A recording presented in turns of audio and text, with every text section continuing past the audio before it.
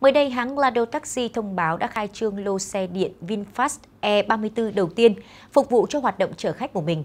Đây là một hãng taxi truyền thống có quy mô lớn tại khu vực miền Nam với khoảng 1.000 xe hoạt động tại 5 tỉnh Lâm Đồng, Bình Định, Phú Yên, Bà Rịa Vũng Tàu và Đồng Nai.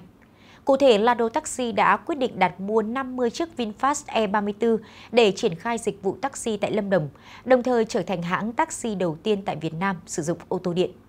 Ông Dương Kim Thế Tuyên, Phó Tổng Giám đốc Công ty Trách nhiệm hữu hạn Đồng Thúy, đơn vị sở hữu thương hiệu Lado Taxi, cho biết một trong các lý do khiến doanh nghiệp nhập xe điện để hoạt động dịch vụ taxi là vì yếu tố chi phí. Giá xăng tăng đến mức kỷ lục khiến cho hoạt động taxi chịu ảnh hưởng đáng kể, do đó xe điện là lựa chọn tương đối hợp lý.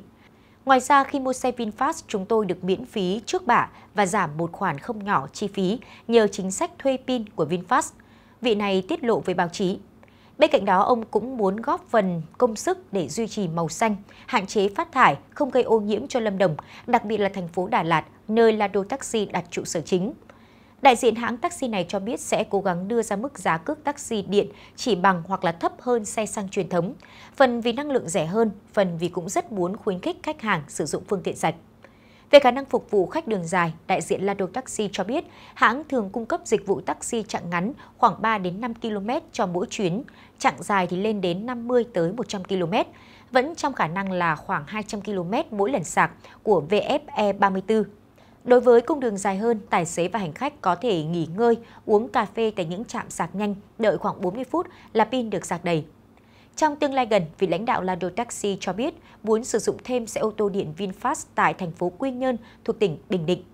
Giờ mà VinFast có 1.000 chiếc VFE 34 thì chúng tôi cũng đặt mua luôn. Chúng tôi ưu tiên đặt VFE 34.